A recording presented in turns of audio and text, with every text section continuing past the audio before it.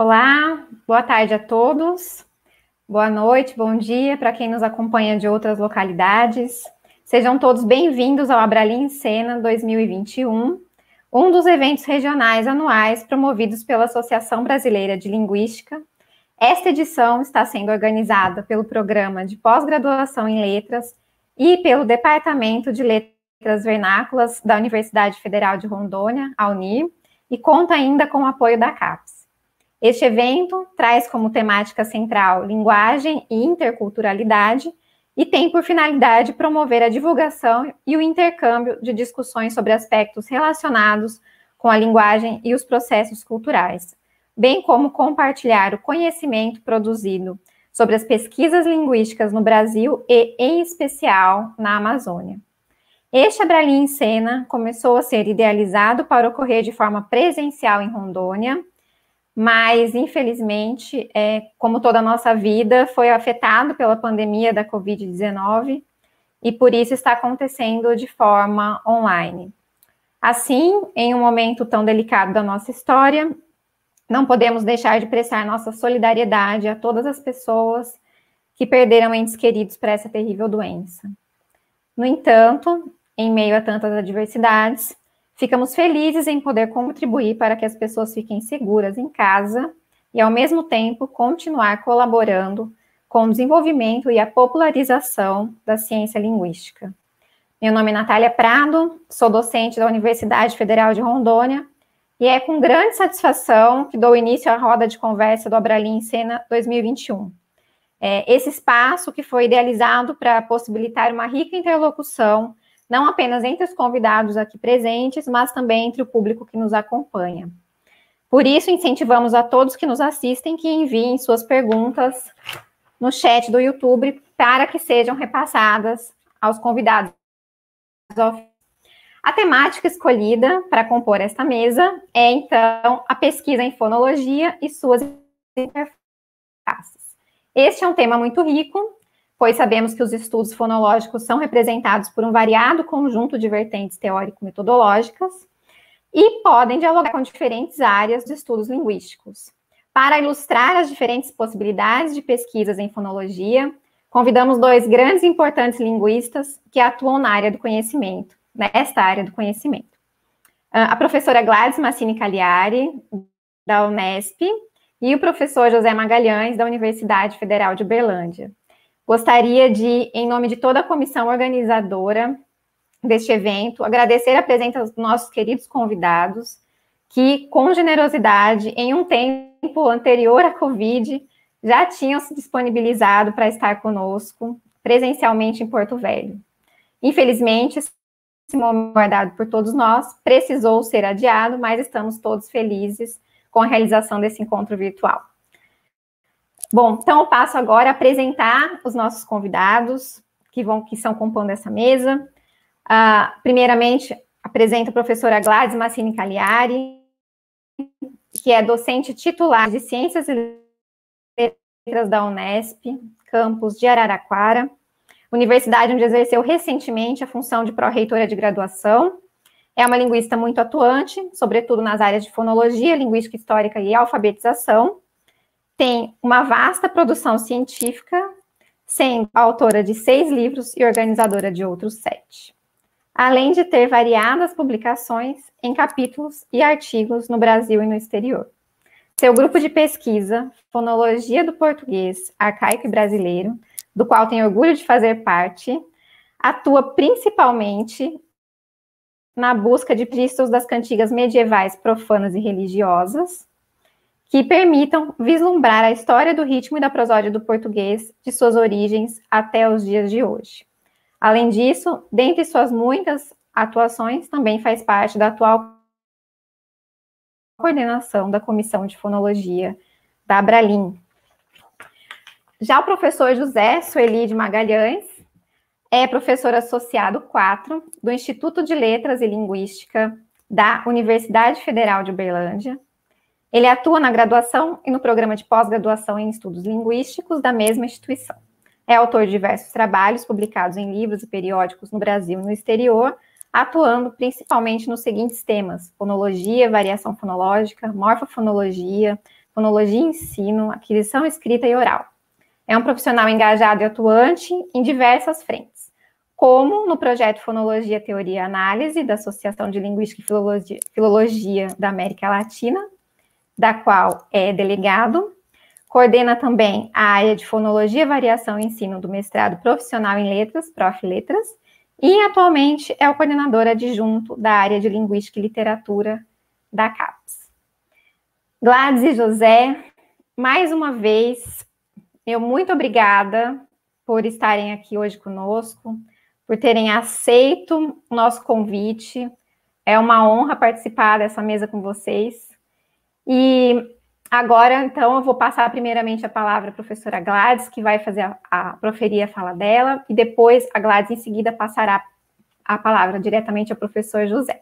Eu volto ao final com as perguntas da nossa audiência. Então, Gladys, a palavra agora é sua. Muito obrigada, Natália. É, queria dizer que é um, um prazer muito grande estar aqui nesta mesa, junto com duas pessoas tão queridas, né, como o José e a Natália, que são pessoas queridas há muito tempo, né, e não, eh, não só pelas, pela pessoa humana que são, mas também pelos ótimos fonólogos, né, e, e pela, pelo coleguismo que sempre tivemos e esse sentimento de colaboração que os dois têm de sobra. Então, é uma honra e é uma felicidade estar aqui. E claro que todos nós tínhamos uma, uma, uma esperança de poder nos encontrar pessoalmente em Rondônia nesse ano. Eu tenho muita vontade de conhecer Porto Velho, de conhecer principalmente a Unir, que é uma universidade para a qual eu nunca fui, eu gostaria de estar aí presente, mas neste momento tão difícil que o nosso país está vivendo, né, com o agravamento da pandemia, Uh, não é, não seria adequado, né, pensarmos em um congraçamento presencial. Então, repetindo as palavras da Natália, eu gostaria de dizer que é que a gente se sente muito feliz de poder estar contribuindo no sentido de pedir aos linguistas que fiquem em casa e de, ao mesmo tempo em que a gente está contribuindo para que as pessoas possam estar nas suas casas, também contribuindo para o desenvolvimento e a difusão da linguística enquanto ciência. Esses eventos é, virtuais que temos feito, temos os linguistas, né, realizado desde o ano passado, tem sido de extrema importância para a difusão da nossa ciência. Então, é, é, é por isso que eu me sinto feliz de estar aqui, embora, claro, todos nós estejamos no sentido, num momento muito, é, estejamos sentindo muito tristes pelo momento em que passa o país. E por isso eu gostaria de, antes de mais nada, deixar uma mensagem de solidariedade a todos aqueles que perderam é, entes queridos na pandemia. Eu, pessoalmente, já perdi parentes também e colegas. Então, é muito difícil, inclusive nesse momento em que as pessoas nem sequer podem dar adeus aos seus queridos, né, devidamente.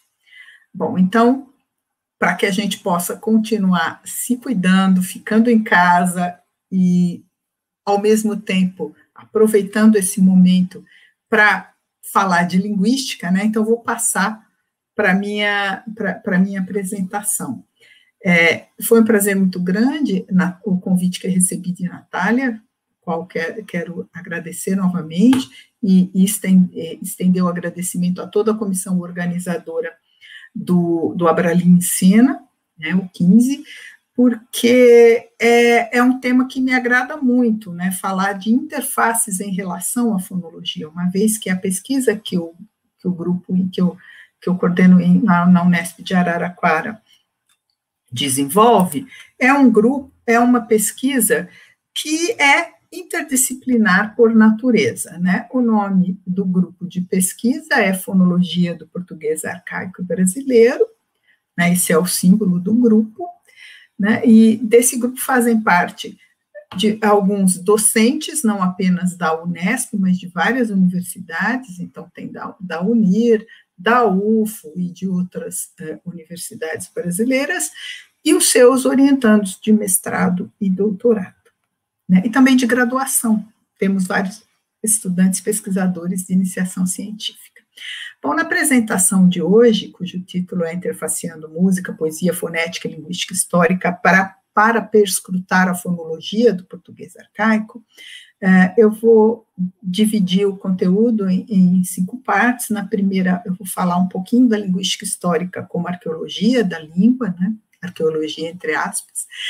Uh, depois vou passar para a fonologia histórica, principalmente como que nós buscamos as pistas da prosódia, né? Como buscar uma metodologia que nos permita fazer isso. Uh, depois nós vamos, eu vou passar por uma pequena exemplificação da metodologia de análise, que é uma metodologia justamente baseada nas interfaces entre as áreas que estão citadas no, no título da apresentação, né, para no final, antes das palavras finais, focalizar um pouquinho da interface música-linguística a partir da análise da Cantiga de Santa Maria 35. Bom, é, vou usar, como vocês uma das cantigas de Santa Maria como exemplo, que é a número 35. Essas cantigas são uma coleção de 420 cantigas em louvor da Virgem Maria, com notação musical, que foram mandadas compilar pelo rei Afonso X, o rei sábio de Castela, é, que era do século XIII, né, nasceu em 1221, faleceu em 1284, né, e essas cantigas sobreviveram em quatro códices. O de Toledo, que é o menor e o mais antigo, o Códice Rico de El Escorial, que é o mais rico de conteúdo artístico, porque ele tem muitas ilustrações, né? E que forma um conjunto com o chamado Manuscrito de Florença, que é o seu segundo volume, uma vez que é, são, na verdade, dois volumes de um mesmo manuscrito, mas que sobreviveram em locais diferentes e agora estão em bibliotecas diferentes. E o mais completo, que é o chamado Códice dos Músicos. A gente vai trabalhar com a, a a, a, a fonte, a cantiga 320, a cantiga 35 nas fontes em que ela sobreviveu. Bom, então agora vamos passar para a primeira parte, que é, de uma certa maneira, a linguística histórica pode ser vista como uma espécie de arqueologia dentro do, do contexto da ciência linguística mais, uh, mais geral. Por quê? Porque a gente procura, a partir da procura descobrir, a partir de pequenas pistas remanescentes, fatos linguísticos do passado, ou construir hipóteses, boas hipóteses baseadas nas teorias que a gente tem. Por isso que eu coloquei aí uma, uma foto do, do, Indiana Jones, mas a arqueologia, do ponto de vista da linguística histórica, ela tem muito mais a ver, muito menos a ver com Indiana Jones do que com aquela figura que está lá em cima do arqueólogo fazendo uma escavação. O arqueólogo que faz uma. É, que, o que, que ele faz, o arqueólogo? Como está aí na figura, ele faz uma escavação do solo, procurando, por exemplo, um pedaço de pedra ou um, um, resto de um alicerce do prédio. Vamos supor que ele encontre um, peda um pouco, um pedaço de um alicerce. A partir desse pedaço de alicerce, com base em tudo que ele conhece da história da região, do povo que habitava, ele pode fazer uma hipótese de como teria sido o, o, o edifício que se erguia a partir daquele alicerce. Então, acho que essa comparação é uma boa comparação para entender o que, que a linguística histórica tenta fazer e o que, que a gente tenta fazer dentro do contexto da fonologia histórica. Bom, então, Nesse sentido, a linguística histórica busca no passado evidências que possam explicar os fatos presentes da língua, não apenas por hedonismo, não apenas porque a gente gosta de fazer isso. De fato, a gente gosta, eu gosto bastante de fazer isso, mas não é só porque eu gosto que eu faço, é porque, uh, a partir da, das evidências que a gente encontra no, nos fatos do passado, a gente pode explicar historicamente alguns fatos que são do presente da nossa língua, né, em termos de variação da sua estrutura, e delineando per, o percurso histórico dos fenômenos linguísticos. e como nós vamos ver no final dessa apresentação, esse, esse tipo de pensamento tem uma importância social. Não é? Bom, Labov, em 1982, disse que a linguística histórica é, a, entre aspas, a arte de fazer o melhor uso de maus dados. O que, que ele quis dizer com isso? Que os dados são ruins? Não, na verdade é que os dados históricos nunca são ideais, por duas razões. A primeira é porque nem, nunca sobra, nunca sobrevive a completude da língua. O que a gente tem é uma parte das, dos usos que a língua tinha então. Então, nesse sentido, o dado não é completo, porque não, era, não havia tecnologia, como aliás hoje em dia também não há, nem tudo que a gente fala hoje em dia é gravado, embora a gente tenha uma, uma quantidade de gravação muito maior do que se tinha, por exemplo, na época dos trovadores, do século XIII, é o que eu estou me referindo, mas os dados nunca são ideais, primeiro porque não são completos e segundo porque eles são frutos da escrita, em uma época que não tinha outro tipo de tecnologia para guardar a fala, a não ser esse. Então, o problema crucial da área é relacionar a fala a escrita, sendo que a escrita, como se deve é, observar sempre, não é, não, não é transcrição fonética. Então, nesse sentido, a construção de uma metodologia é sempre um imenso desafio para essa área, uma vez que a escrita da época, exemplo da atual, fornece apenas pistas, indícios de como a fala da, de épocas passadas, em que ainda não havia tecnologia para gravação, teria soado, mas não indica certezas absolutas. Bom, então, nesse sentido, se a gente não tem certezas e só tem pistas, o que, é, o que faz a linguística histórica? Ela constrói hipóteses fundamentadas a partir das teorias linguísticas disponíveis. Bom, então, quando se fala em fonologia histórica, o que, que a gente precisa? Dados, precisa estar ciente do problema, da relação entre fala e escrita nessa é, é e, e de toda a, que, a, toda a questão metodológica precisa ser construída a partir dessa problemática, e precisamos de boas teorias fonológicas para apoiar a, as hipóteses que serão construídas. Então, agora vamos passar para a segunda parte, que tem a ver como encontrar pistas da prosódia da língua, do passado.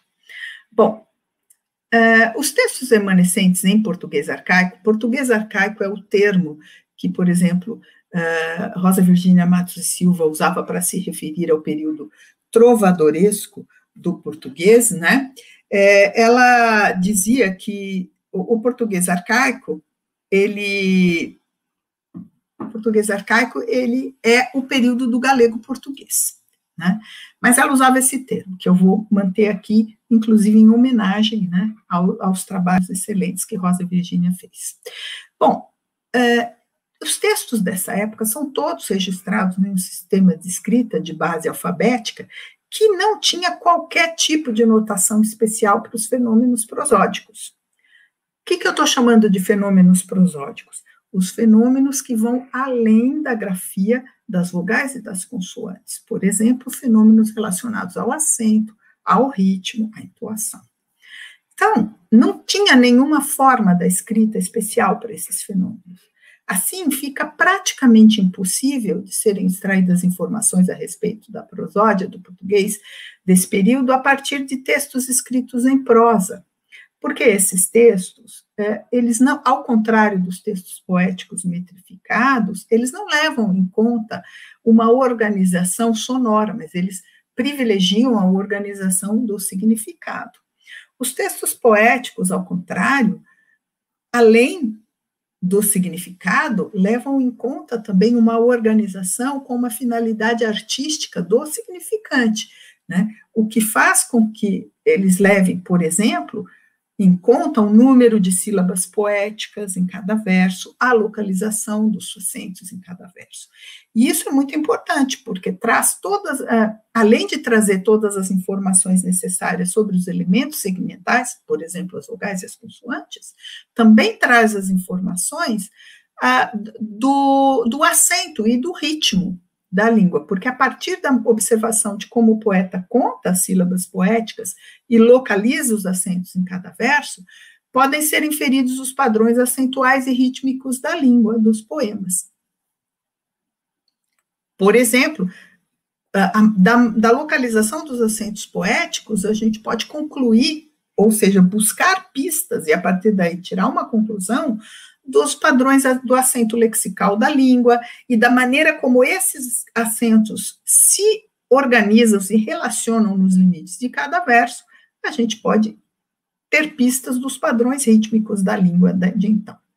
Bom, vou exemplificar agora com algumas questões. Por exemplo, em termos de timbre vocálico, o Serafim da Silva Neto né, já dizia que no português arcaico, palavras como eu, meu, teu, seu, deu, Deus e judeu não podiam rimar com a terceira pessoa do singular do pretérito perfeito dos verbos em er, por exemplo, perdeu e temeu, porque naquele momento Silva Neto dizia que essas palavras teriam um e aberto ainda, portanto, elas seriam é, pronunciadas, no dizer dele, como El, Mel, Tel, Cel, Del, Dels e Judel. Por isso que não rimariam com verbos como perdeu e temeu.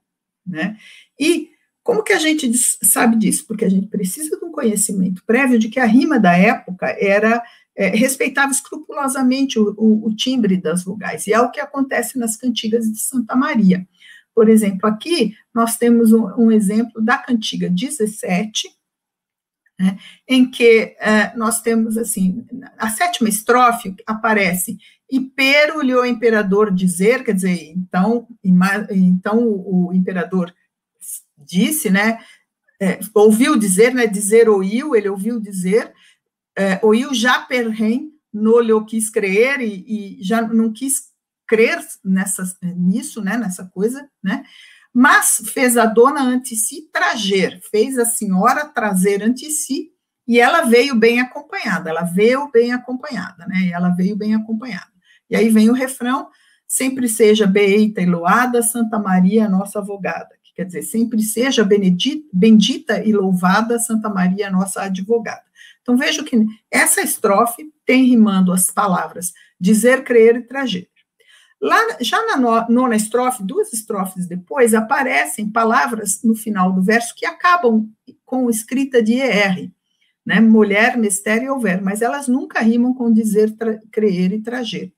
Né? Eu vou ler o verso: o imperador lhe disse, mulher, mulher boa de responder, você é mister, quer dizer, você é boa de responder, é o seu, seu você é mistério, é a sua, o seu ofício, né?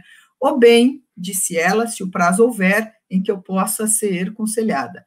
Tipo, bem, é, ou bem, quer dizer, faço isso, bem. É, ela disse, se o prazo que eu tiver, é, se eu tiver um prazo em que eu possa ser aconselhada, né? E aí, novamente, o refrão.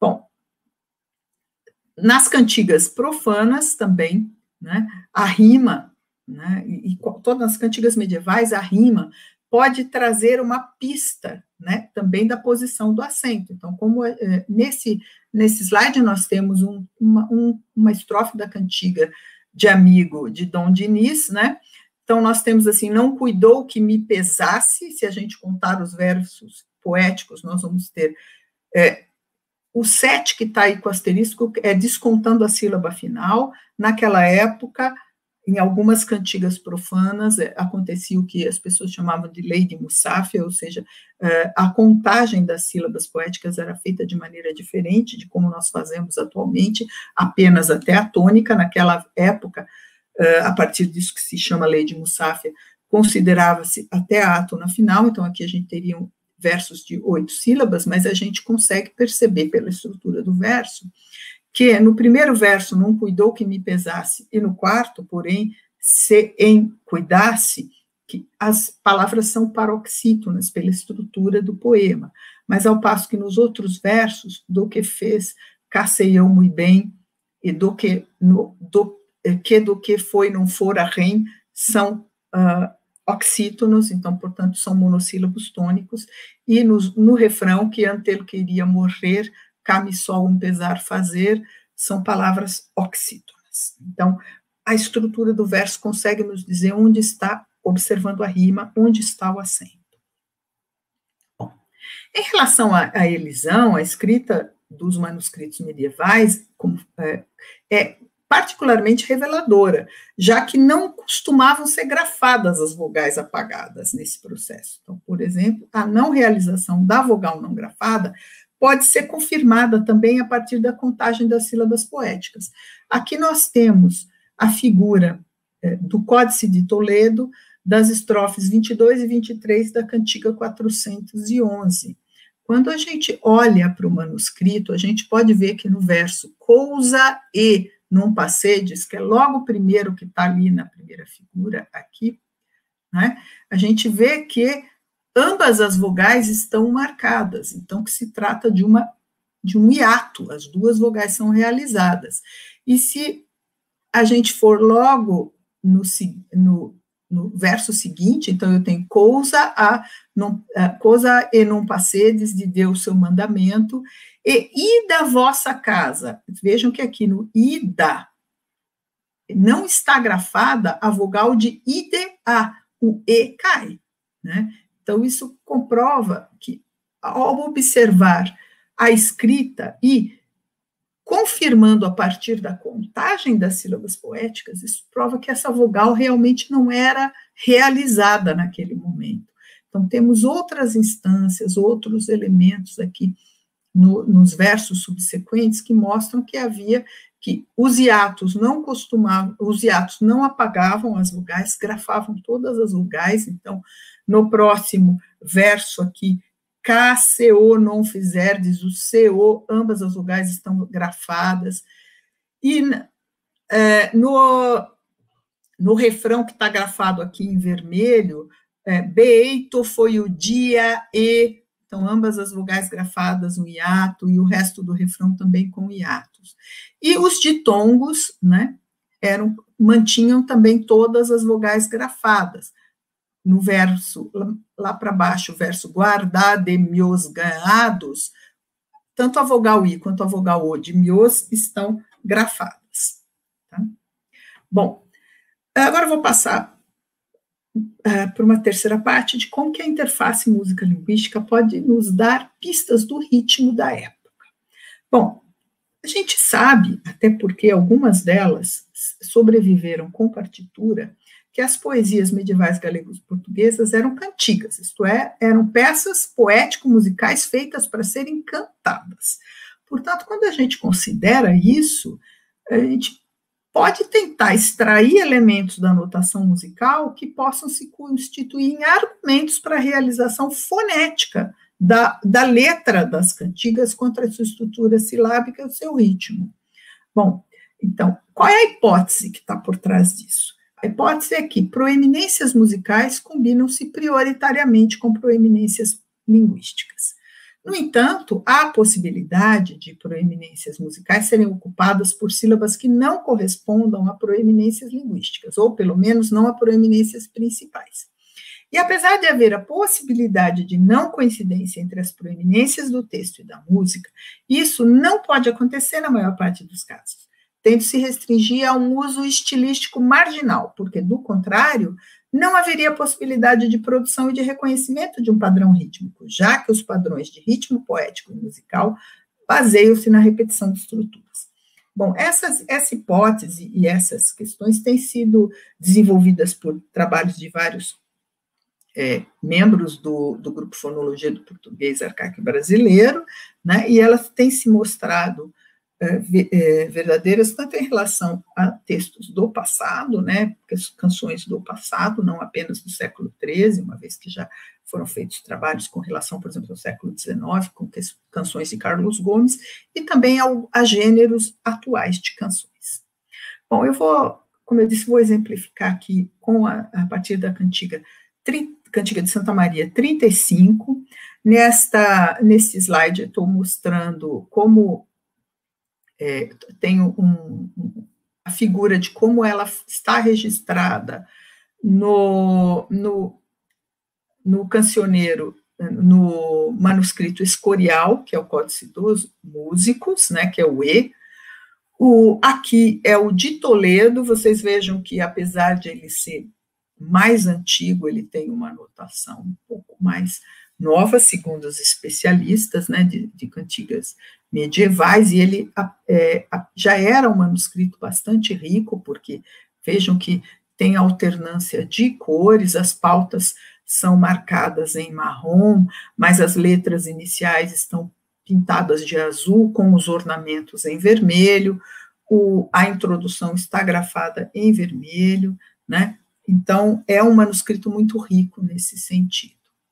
Aqui nós temos a interpretação atual, né? Ou seja, a leitura, né? a interpretação em notação musical atual que fez Anglés, né? Higínio Anglés, que é um, um, a edição mais uh, popular das cantigas de Santa Maria, edição musical mais popular, embora ela tenha sofrido ao longo do tempo algumas críticas, ela é a mais popular e a mais completa até hoje.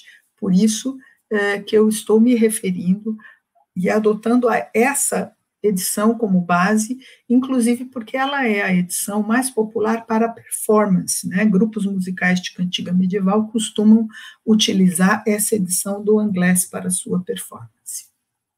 Bom, a observação dessa notação musical, e eu aqui, quando falo notação musical, estou me referindo à interpretação do inglês, né, a edição do inglês, porque eu não sou especialista em uh, notação musical medieval, né, embora tenha estudado música no passado algum tempo e consiga ler a, a notação musical atual, eu não sou especialista em, em notação medieval, e o Higínio Inglês e os demais especialistas da área são os grandes especialistas, então eu acho que a gente tem que dar, não só fazer uma homenagem ao trabalho deles, mas dar a verdadeiro, o verdadeiro crédito ao grande trabalho que eles fazem, né?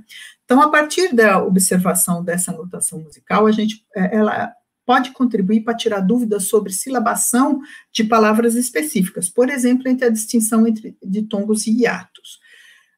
Aqui nesse slide nós temos a linha, né, a primeira linha da canção, né, da Cantiga de Santa Maria 35, em que está o verso O que a Santa Maria der ao, que, é, que aí, aí passa-se para outra linha, né? Se a gente perceber a notação que está aí no quadrado dentro do quadrado vermelho, que é relativa à palavra Maria, nós vamos ver que é bem destacado, que a notação é bem destacada para o encontro vocálico IA, Maria, a vogal do I é longa, né, tem uma duração, inclusive musical, mais, uma duração musical mais longa, né, e a do A mais breve, e são bem distintas, né, e, e na notação do manuscrito, dos dois dos, dos manuscritos em que sobreviveu, né, podemos ver as, essa distinção é, bastante clara, porque os, nos manuscritos, como pudemos observar, a letra é distribuída embaixo, o primeiro, o primeiro estrofe e o refrão, a letra é distribuída embaixo né, da nota com a qual ela deve ser cantada.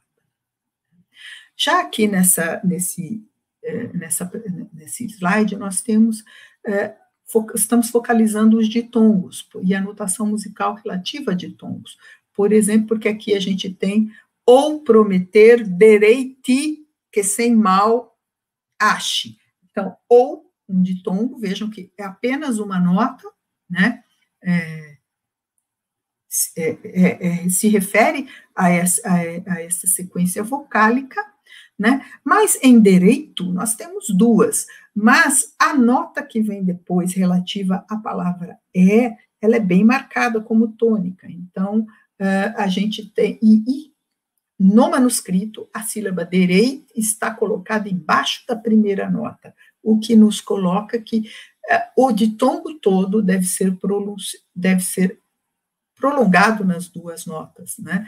Mas que é uma, uma notação diferente da que a gente encontra para hiatos. Então, no caso, esses dois exemplos nos mostram que se a gente tiver dúvida, se uma palavra específica, se uma sequência de vogais específica é realizada como ditongo hiato, e se a notação é, se, a, se a, a, contagem das sílabas poéticas não conseguir dirimir essa, essa dúvida, a gente pode recorrer à notação musical, porque há diferenças de notação com relação a ditongos e atos que vão esclarecer essa dúvida.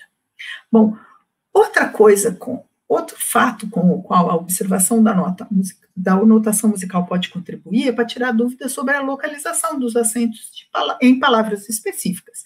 Né? E também com relação à tonicidade de monossílabos, para a gente saber se se trata de clíticos, de monossílabos clíticos ou de monossílabos tônicos, né? E também, por exemplo, com relação à existência dos proparoxítonos. Aqui eu vou mostrar a, a, terceira linha da cantiga, a terceira linha da edição musical da Cantiga de Santa Maria 35, feita pelo Anglés. Nessa linha, eu marquei em vermelho os monossílabos tônicos. Vejam que eu tenho monossílabo C. É, existe uma diferença em português arcaico entre o, o C prepos, o, o C conjunção e o C pronome. O C pronome oblíquo é átomo, mas o C conjunção é sempre tônico. Então a gente tem aqui esse é o C conjunção, porque ele diz se lhe pois quiser tolher, ou seja, se ele depois quiser tolhê-lo, né? Tolher essa pessoa, tolher o objeto, o ele, né? Que é o objeto direto. Cá muito é, cá muito é homem sem. Quer dizer, porque muito é o homem sem, e aí o resto depois continua o poema. Todos esses monossílabos, se vocês puderem observar aí, estão na posição inicial do compasso, que, como se sabe, em termos musicais, é a posição forte. Então, nesse sentido, eles têm mais chance de serem tônicos do que de serem átomos, porque eles estão ocupando posições tônicas do, no nível musical. No entanto, vejam aqui, acrescentei um quadrado verde aí sobre o, a, os pronomes, é, essa contração do pronome lhe com o pronome o, que, que dá a forma lho. Né? Vejam que essa, essa sílaba lho, ela está numa posição, ao contrário do que acontece com os outros monossílabos que eu ressaltei, ela está numa posição átona, não é? Em, numa posição átona, ou seja, na posição átona musical, a posição fraca do compasso. Então, ele tem mais chance de ser átono, ou seja, de ser um clítico, do que de ser um monossílabo tônico. Vejam que é, o que a gente está fazendo aqui, lembrando que foi dito no começo, é buscar essas pistas. Né? O que a notação musical está nos dando aqui da tonicidade desses monossílabos é uma pista. Então, a pista, então por isso que eu estou dizendo, ele tem mais chance de, né? Como eu disse no começo, a gente não tem certezas absolutas, nós vamos ter que juntar todos os dados que a gente tiver para fazer uma boa hipótese. Então, a partir dessas pistas, eu faria a hipótese de que Lho é átono, portanto é clítico, e que os demais monossílabos C, pois, K e E são tônicos. Tá? É, uma outra coisa que a notação musical pode nos dar é uma pista da é uma pista da da posição do acento. Por exemplo, na palavra crérigos, né, uma das dúvidas que se tinha na época do português arcaico é se havia ou não, se haviam sido mantidos ou não os proparoxítonos, porque a maior parte dos nossos proparoxítonos, ela é, ela entra para a língua por via erudita, né? Então, uma das coisas que a gente sempre se perguntou era, nessa época ainda havia, e pelo que a gente considera, da, se a gente olhar a notação musical, a gente tem uma pista de que sim, eles estavam mantidos, porque a, a sílaba cré aqui, ela está na posição forte do compasso. Então, ela tem mais chance de ser tônica do que a sílaba ri. E, e, portanto, muito provavelmente essa palavra era pronunciada crérigos e não crerigos. Tá? Bom, e também a notação musical pode contribuir para tirar algumas dúvidas sobre a utilização estilística de processos rítmicos. Por exemplo, nessa estrofe, que é a oitava estrofe da Cantiga 35, que diz o seguinte: do mercador que havia per nome Colistanos, quando a gente se dá entra em contato com esse nome Colistanos, é um nome latino, a gente tende a lê-lo Colistanos. E continuando no novo no outro verso, que os levasse a Bretanha a que probou o rei Brutus, mais um nome latino, a gente tende a ler Brutus. Só que quando a gente chega no terceiro verso, e entrou i, entrou aí, né, e entrou i, tanta gente que não cabiam i, chus, chus quer dizer mais, né, que não cabiam, não, não mais cabiam lá, a gente se depara com monossílabo tônico. Ora, colistanos, brutos e chus estão rimando. Então, o que é está acontecendo? Chus está sendo realizado como um monossílabo átono ou, é, ou colistanos e brutos que estão sendo realizados como oxítonos? Se a gente olhar notação musical, nós vamos ver que o que acontece é que nesse, nessa cantiga específica, as, a, a palavras, as palavras colistanos e brutos estão sendo realizadas como oxítonas, porque vejam aqui nessa figura que tem a linha, uh, a notação musical correspondente a palavras colistanos, né, a gente tem a sílaba a nus na posição de proeminência musical e também com uma nota alongada, com maior duração.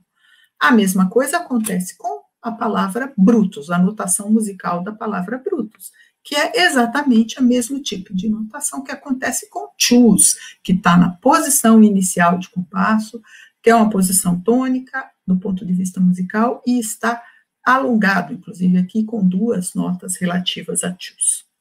Bom, nesse sentido eu quis, o objetivo foi mostrar uma metodologia baseada em interfaces para prescrutar os sons dos trovadores que pulsam por trás do véu da escrita e que podem ser revelados pela estrutura dos seus poemas e das suas canções. Como eu disse, a import... e para que, que a gente faz isso? Porque a gente gosta? Sim, a gente gosta. Mas também tem uma importância social de fazer esse tipo de coisa, porque esse tipo de pensamento pode trazer subsídios para o ensino de língua portuguesa na atualidade e para a compreensão da existência e da natureza do preconceito linguístico e para o combate a ele, na medida em que mostra que estruturas atualmente discriminadas e consideradas como erradas são, na verdade, fruto da deriva histórica natural da língua e de tendências de mudanças presentes no nosso passado desde a nossa origem no latim e que, portanto, não tem nada de ignorância ou de fruto de déficit cognitivo. Bom, para é, exemplificar isso, eu trouxe um, o refrão da cantiga de Santa Maria 340, em que a gente tem a, a forma Virgem Madre gloriosa, de Deus Filha e Esposa, Santa Nobre Preciosa, quem te luar saberia ou podia. Bom, essa é, a, essa é uma a palavra gloriosa, hoje em dia, seria considerada é, errada, entre aspas, é, e, e, seria é, corrigida por um professor caso um aluno usasse isso numa redação, por exemplo. Mas aqui, vejam, ela se refere à fala do rei, e do rei considerado o mais sábio na época de Castelo. Portanto, esse tipo de apropriação, a atribuição desse verso como a fala do rei, nos mostra que essa forma, ela era, ela era considerada uma forma é, bem vista na época, uma forma é, prestigiosa de se falar. É, Para terminar, por que, que a gente não percebe? É importante mostrar esses dados para os nossos estudantes, porque, como disse Faraco, os falantes normalmente não têm consciência de que sua língua está mudando. Parece que, como falantes, construímos uma imagem de nossa língua que repousa antes na sensação de permanência do que de mudança. Então, é muito importante que a gente leve esse tipo de dado, esse tipo, traga essa percepção para a sala de aula, porque isso ajuda no combate ao preconceito linguístico e na percepção da riqueza da variação do nosso país, da fala, né, da nossa fala no nosso país.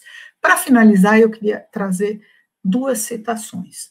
Uma de Rosa Virgínia Matos e Silva, de quem eu já falei, de quem eu empresto o termo português arcaico. Ela diz o seguinte: a documentação linguística fornecida pelo conjunto da lírica medieval galego-portuguesa é riquíssima.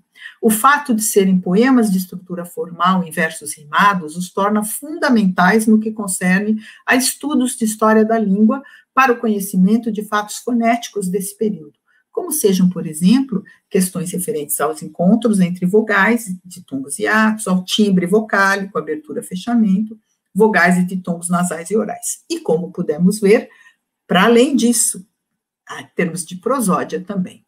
E para finalizar, eu trago a voz de Taralo nesse livro Tempos Linguísticos. Ele diz o seguinte: Nossa língua mãe, o português, dentro dele nos aprisiona e nos cativa.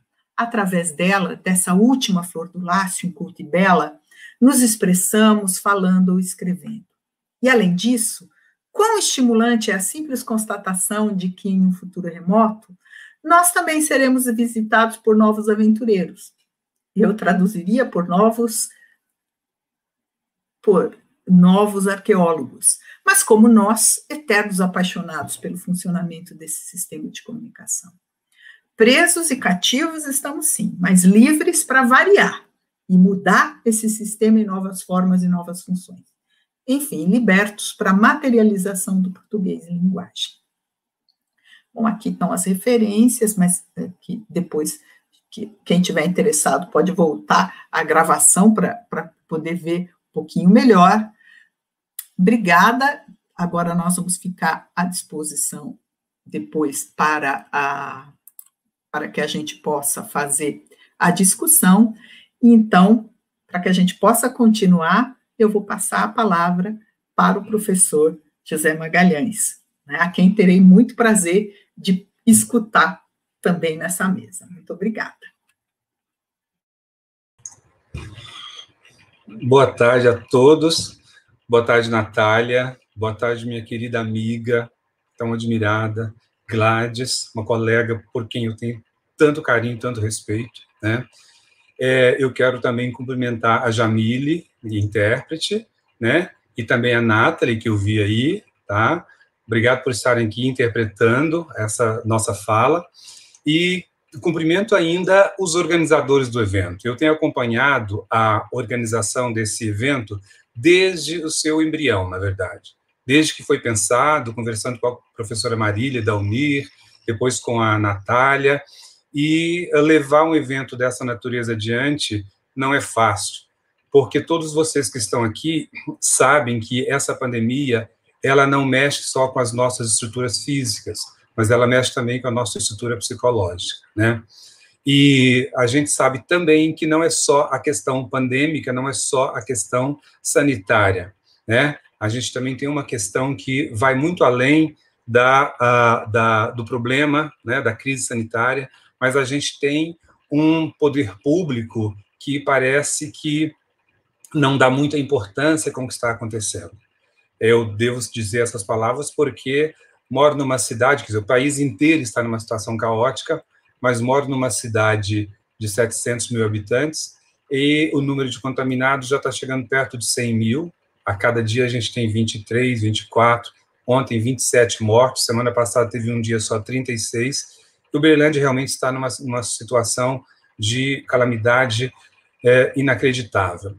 Outro dia eu vi uma matéria no, no jornal Folha de São Paulo, publicada da revista Piauí, comparando a cidade de Araraquara, onde mora minha amiga Gladys, né, com Uberlândia, mostrando que Araraquara é um exemplo do que fazer e Uberlândia era um exemplo do que não fazer. Né? Então, assim, nós estamos numa situação, como eu disse, que não é só uma questão realmente pandêmica, existem outros problemas né, de esferas que, na verdade, deviam agir para melhorar a situação e parece que agem para piorar a situação. Né?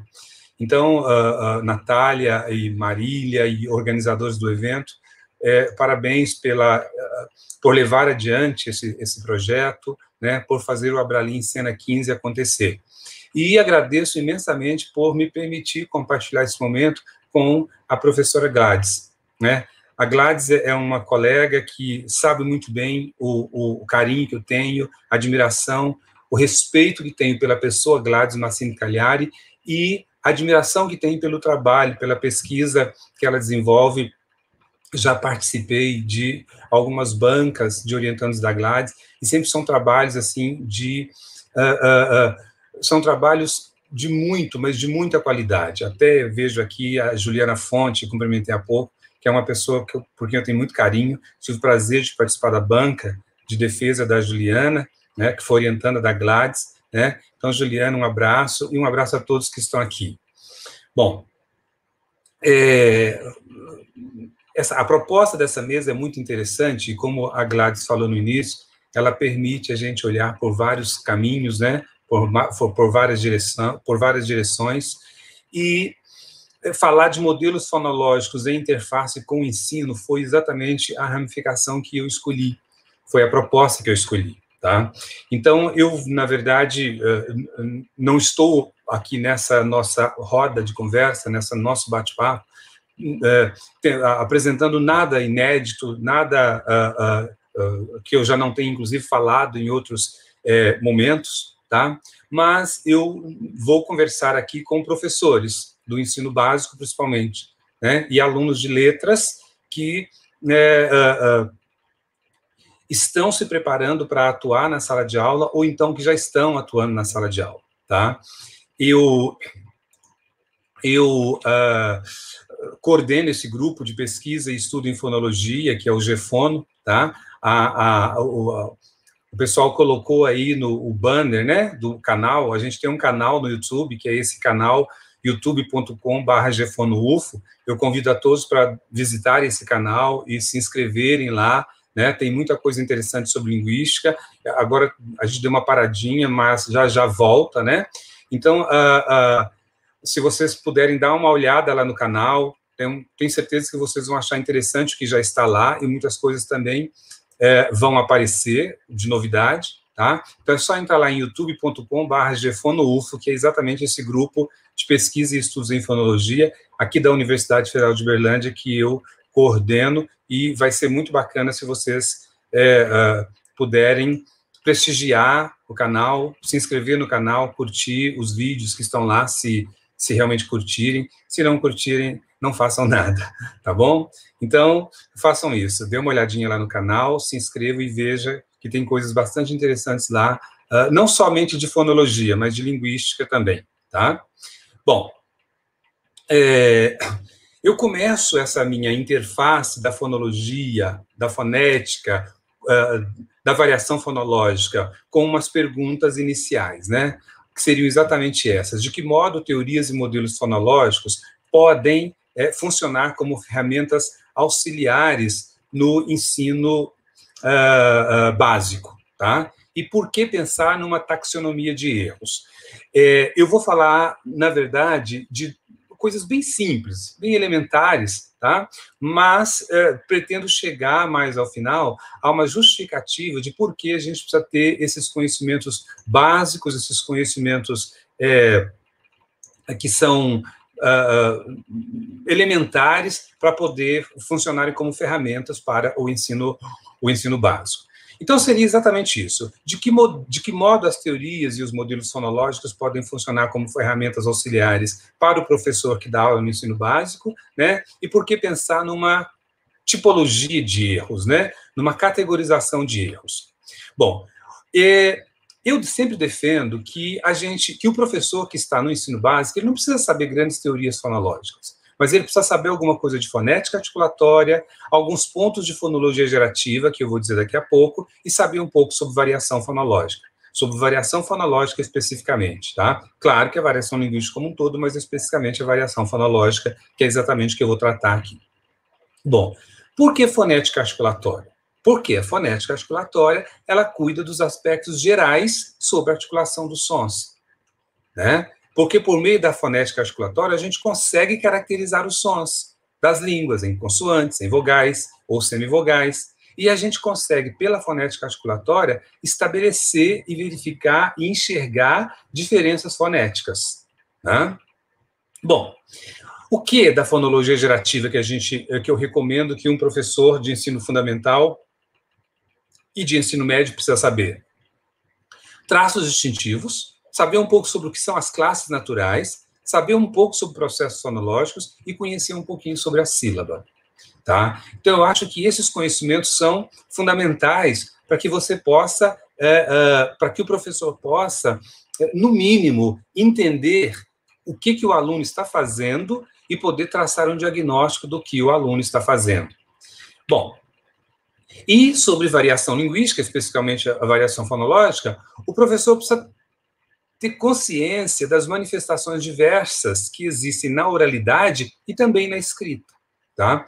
Além de ter um conhecimento sobre os processos variáveis envolvendo consoantes e processos variáveis envolvendo vogais. Mas, antes de tudo, ter certeza de que uma língua tem, por natureza, a capacidade de variar, né? Isso porque exatamente a variação linguística, a variação da língua, ela é imanente ao sistema linguístico.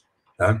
E a, a, a professora Gladys trouxe ali uma, a, a, voz do professor Faraco, né? Dizendo que o falante não tem uma, a, a consciência né, de que a língua está mudando, e é exatamente isso porque às vezes ele sequer tem noção de que a língua está passando por um processo de variação, né? E para as línguas mudarem, elas têm que passar primeiro por um processo de variação, porque a mudança, ela exige, né, que haja a variação. Então, o professor do ensino básico, ele precisa, na minha visão, ter noção de que a língua se manifesta de diversas formas, tanto na oralidade como também na escrita tá? E que há processos variáveis que envolvem consoantes e que envolvem as vogais. É claro que a gente sabe que isso é muito problemático, porque às vezes nos cursos de letras nem tem uma disciplina do tipo fonética e fonologia, né? E se há a disciplina, a, a, algum conteúdo de fonética e fonologia, às vezes ele vem escondido dentro da disciplina de teoria de linguística teórica. Aí vem um ponto ali, né, que é dado por uh, muitas vezes não um professor especialista em, fonética, em fonologia e variação, mas ele aparece ali escondidinho. Né? A gente sabe que isso é a realidade de muitos cursos de letras. Na realidade, a variação fonológica ela também não tem muito espaço nos cursos de letras. Por vezes, o que acontece de variação fonológica vem ali nos cursos é, é, escondido dentro daquelas referências que se fazem ao preconceito linguístico. Mas um trabalho de variação com elementos de natureza fonológica, às vezes ele não aparece explícito nos cursos. Né?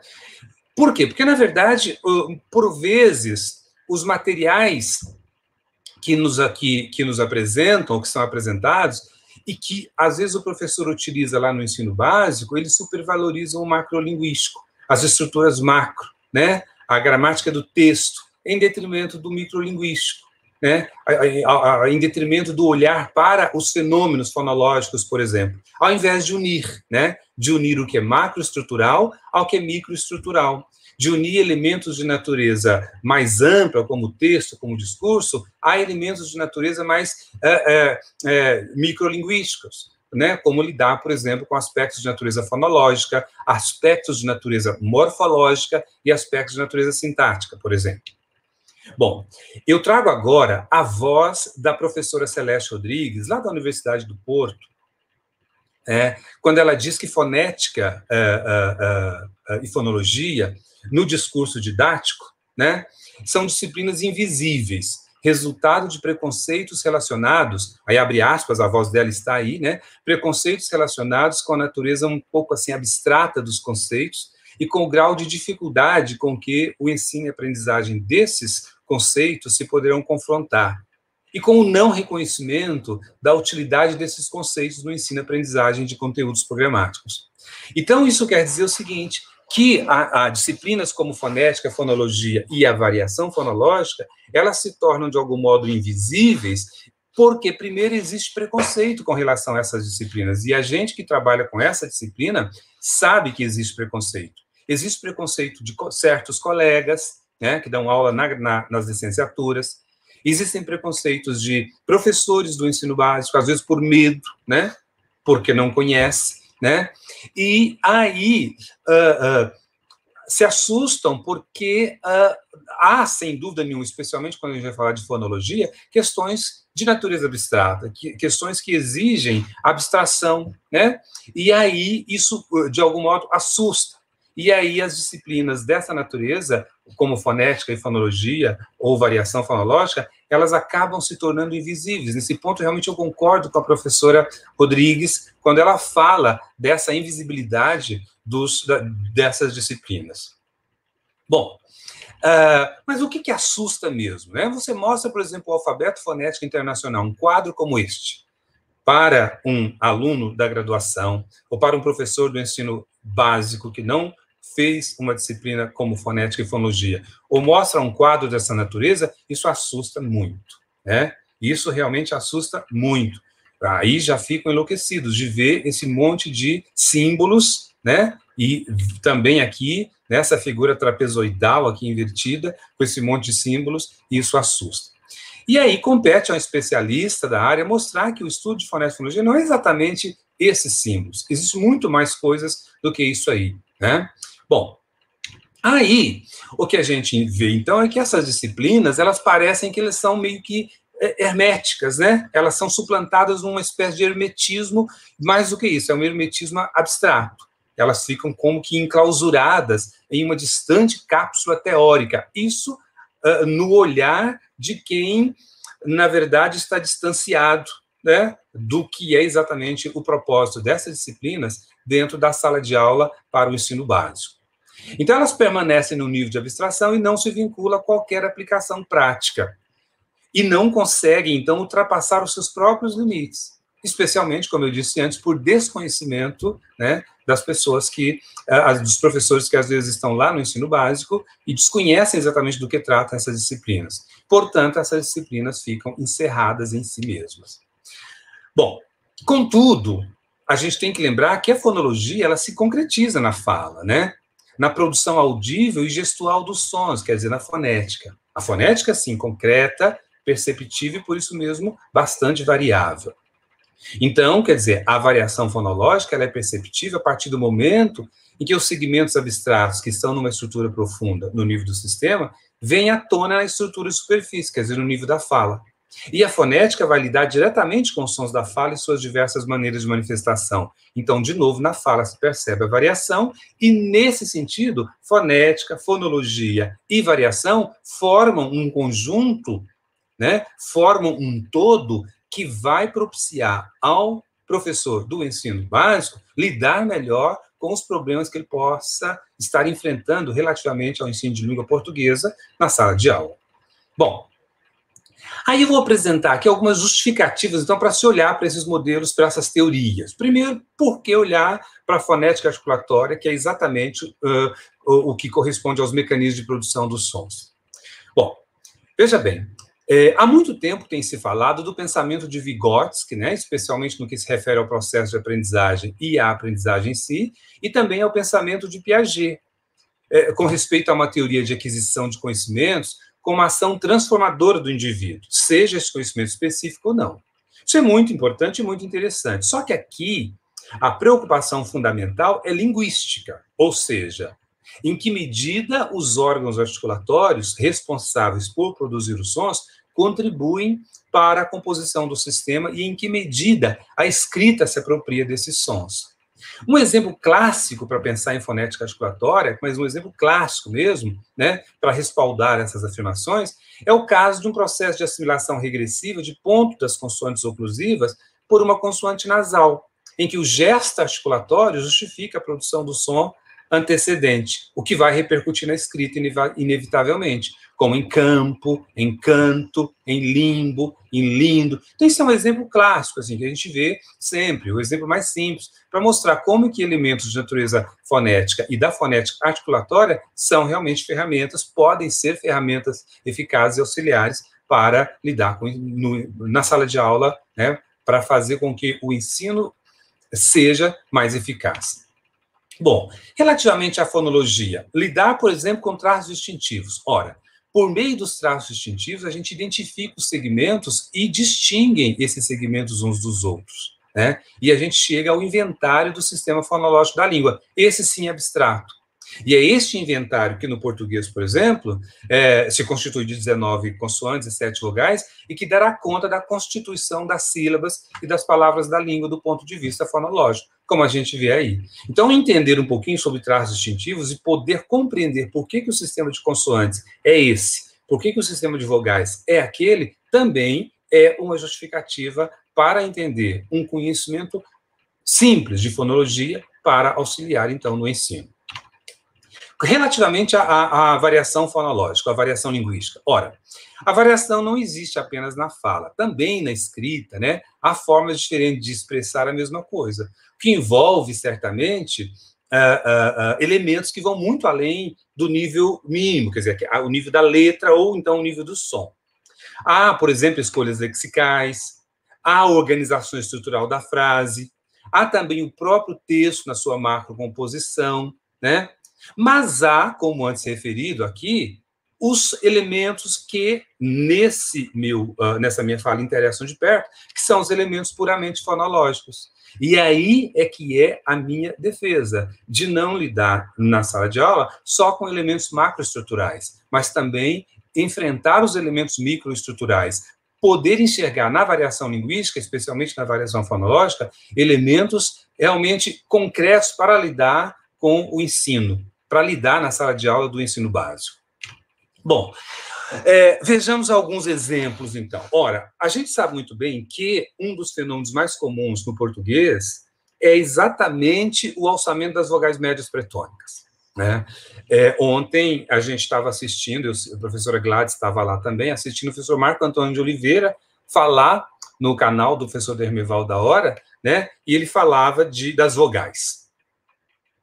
Que, as vogais do português brasileiro ainda são merecedoras de muita atenção, né? Porque as vogais elas variam muito, elas são uh, uh, alvo de, muito processo, de muitos processos fonológicos, né? E o alçamento das vogais médias pretônicas é um grande exemplo, né? Claro que eu estou colocando aqui, olha, formiga, formiga por formiga, menino por menino, pequeno por oh, oh, pequeno por pequeno, está invertido aqui, pomada por pomada, são apenas apenas alguns exemplos de variação dessas vogais que a gente pode, na verdade, utilizar e verificar como que isso pode ser utilizado na sala de aula, lá no ensino fundamental e no ensino médio. Né? Outro caso, aí esse já quase categórico, do alçamento das vogais médias finais, como, por exemplo, mundo para mundo, né? livro, pele, come para come, quer dizer, isso já é quase categórico. E isso é fruto de elementos de natureza variável, mas que também tem a ver, estão diretamente relacionados com a mudança de um traço uh, distintivo uh, referentemente a essa vogal média acontecendo no final átomo da palavra. Bom, é, outro caso envolvendo vogais, que é exatamente o abaixamento das vogais médias. Por exemplo, colégio por colégio, relógio por relógio, reboque por reboque, Roberto por Roberto. Isso, esse caso aqui, por exemplo, dessas vogais, a gente vive aqui uh, perto do meu, uh, da minha cidade, e, e, se a gente pula o rio que separa, por exemplo, a região onde vivo da região onde a professora Gladys vive, né? Pulou o Rio Grande, essa alternância das vogais muda completamente. Né? Isso é um, uma coisa muito interessante. Então, já escreveu alguma coisa sobre isso, né? Que do lado de cá, por exemplo, a, variável, a, a variante preferida é com a vogal aberta, colégio. Mas passou de lá do Rio, do Rio Grande, a variável preferida parece ser colégio, com a vogal é, é, média alta e não com a vogal média baixa. Bom, e ainda vários tipos de apagamentos, né, que são frutos de variação. Cantar por cantar, chover, amor, cantando, ou simplesmente cantando, né, viagem, ou simplesmente viagem, apertadinho por apertadinho, né? Aqui, por exemplo, em Minas Gerais, esse diminutivo é totalmente reduzido quase sempre, né? Você sempre fala pequenininho, apertadinho, um, um, um pedacinho, pezinho e por aí vai. Bom, só que pensar, então, nesses elementos todos, a gente tem que levar em consideração um outro aspecto, que é exatamente a correção ortográfica, porque essa variação existe, mas existe, por outro lado, algo que a gente chama, então, de correção ortográfica. O que fazer? É nesse ponto que a gente chega a um dilema que envolve não apenas o aprendiz do código escrito, independentemente do nível que se encontra, mas todo o indivíduo que se propõe a lidar com a escrita. É claro que a ortografia, ela exige uma escrita correta das palavras, né? E aí, o que fazer? Não tem outro jeito, porque ou você escreve certo ou você escreve errado. E o objetivo ali é fazer com que o aluno escreva correto, né? Corretamente. E aí vem perguntas do tipo, né? Por que, que escreve canção e não canção? Por que escreve música com S e não música com Z? Por que funil com L e não funil com U? Por que chapéu com U e não chapéu com L? Por que acesso e não acesso? O que acabou, você sabe que aconteceu ontem com essa, essa palavra acesso, eu até trago daqui a pouco o exemplo de novo, mas vamos lá. Então, por que, que escreve as formas da esquerda e não as formas da direita? Bom, a principal questão é que, em grande parte desses casos, trata-se realmente de um aprimoramento, né? de um aperfeiçoamento da escrita. E para isso é necessário que a gente tenha realmente o máximo de contato possível com aquilo que se quer aprimorar. E nesse ponto, uh, né, qualquer um pode ser vítima desses erros, porque são questões que vão acompanhar realmente a gente para sempre. Você vai sempre precisar de um é, de um dicionário, às vezes, consultar o Google, consultar o dicionário, né? Claro que leitura e escrita constante são antídotos para combater esse tal escrever errado dessa natureza. E aí, pensando nisso, é que vem propostas de tipologia, de taxonomia de erros. Uma interessantíssima taxonomia de erros, ela foi proposta pelo professor Marco Antônio de Oliveira e o Milton Nascimento do Nascimento. O professor Marco Antônio de Oliveira e o Milton do Nascimento são aqui da, de Belo Horizonte, da PUC Minas, tá? E eles propuseram uma, uma taxonomia, uma tipologia de erros que elencava sete tipos, mas eles se basearam na escrita de alfabetizandos, né? Das crianças que estão começando. Então, eles começaram, a base da, da tipologia deles é uh, uh, criança, bem novinha, criança que está na fase de alfabetização. Então, eles propuseram sete tipos. Tá? A nossa proposta, ela não envolve sete tipos. Tá? Ela envolve quatro tipos. E de onde vem essa proposta? Essa proposta vem de uh, um banco de dados do GEFONO que reúne cerca de 2 mil textos de alunos do ensino fundamental 2, né, do uh, quinto ao nono ano tá? de uh, cidades de Minas, escolas de Minas Gerais, do interior de Goiás, aqui mais perto, e do Distrito Federal. Tá? Então, uh, esse banco de textos do Gefono, ele reúne cerca de 2 mil textos, e a gente, uh, uh, eu, junto com os meus orientantes, especialmente do Prof. Letras, né, nos debruçamos sobre esses textos, tá? e a gente propôs trabalhar, especialmente no âmbito do Prof. Letras, que é formador né, de mestres de mestres profissionais para lidar com o ensino básico, uma tipologia de quatro tipos. Veja, isso não quer dizer que são só esses quatro tipos. Isso aqui não é exaustivo. Na verdade, são quatro tipos entre uma série que vão aparecer certamente, né? Que vão aparecer certamente, mas a gente tem é, é, proposto inicialmente esses quatro tipos para começar tá bom? O primeiro tipo de erro seria aquele que está relacionado aos correlatos fonético-fonológicos. São erros como segmentação, erros de natureza prosódica, que também envolve segmentação, silabação, etc. Então, são violações que incorrem em troca de letras cuja explicação está diretamente relacionada a traços distintivos, à organização silábica ou à prosodização. Esses erros eles se referem à alternância em que segmentos ou traços distintivos ou ainda sílabas, ou mesmo a palavra prosódica, não correspondem àquilo que o sistema prediz.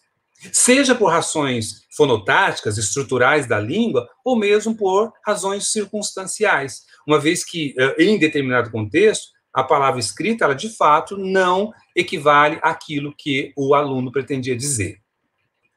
Então, exemplos de correlatos fonético-fonológicos são esses que estão uh, uh, uh, expressos nessas questões relativas a traços, né, a, a segmentação. por exemplo, o presidente Lula, né, claramente a gente tem aí uma, uma, uma um, um, um, problema de correlato fonético-fonológico na troca de um traço, surdo por sonoro. Né? Para minha surpresa, ela insistiu em pagar pelas minhas compras. Claramente, a gente tem também um problema de natureza fonética, que é exatamente aquilo, aquilo que eu falei há pouco, do, da assimilação de ponto, né? No caso ali, labial com coronal, mas que também envolve traço distintivo. De repente, uma questão segmental, comigo uma questão segmental, enquanto uma questão segmental e também uma questão de traços. Então, esse seria exatamente um tipo de erro de correlato fonético fonológico. O segundo tipo de erro é um erro de natureza uh, uh, uh, de variação fonológica, né? Envolve, então, a variação. Então, do ponto de vista da variação fonológica, essa categoria refere, reflete uma espécie de transcrição gráfica daquilo que se fala porque re, re, re, é, reflete a variante que o aluno usa, e ele usa essa variante também na escrita. Note-se, contudo, que o escrevente encontra aqui a barreira limitadora das letras representando a fala, porque nem tudo que ele fala vai ter uma letra para poder representar, né? Existe, pois, que o professor tenha noção dos processos variáveis da língua. Como os fenômenos são, por vezes, indissociáveis, quer dizer, a identidade fonológica dos elementos envolvidos, que eles que eu falei lá atrás, os correlatos fonéticos fonológicos, eles também devem vir à tona para a gente poder lidar com questões de natureza variável, para lidar com a variação fonológica. Então, por exemplo, desde ontem não se ouve mais panelas. Na verdade, ontem ouvimos panela. Aqui em Uberlândia teve panela, inclusive eu bati bastante. Né? Então, esse desde aí reflete exatamente a variante que o aluno usa. E ele coloca isso no papel, na escrita. E aí vai, né? Pequeno, pomada, livro, todas essas questões de natureza uh, uh, variável que o aluno é, reproduz na escrita, porque ele está reproduzindo ali a variante que ele usa na escrita. Bom, é, o terceiro erro, tipo de erro nessa tipologia de quatro, são os erros de convenções ortográficas, que eu até já falei um pouco atrás, né? Que são os desvios da norma ou o uso do dicionário, ou os, os desvios do uso, os desvios do dicionário. Então, essa categoria, ela resvala-se nas convenções ortográficas. Uma vez que a grande maioria dos desvios que nela se enquadram não possui explicações bem substanciadas, pelo menos do ponto de vista sincrônico, não tem. Né? Apenas a prática exaustiva da escrita e da leitura, não necessariamente oral, né, poderá instrumentalizar o indivíduo para lidar com esse tipo de erro, pois ele nos, amea nos ameaçará para sempre, porque sempre, nesses casos a gente sempre vai precisar de consultar o dicionário, né? Aí a gente tem alguns exemplos. A primeira leva de exemplos é de texto dos alunos, mas a segunda leva de exemplos é de gente bem conhecida, né? Então eu vou direto para a segunda leva de eventos. Com isso haverá paralisação, né?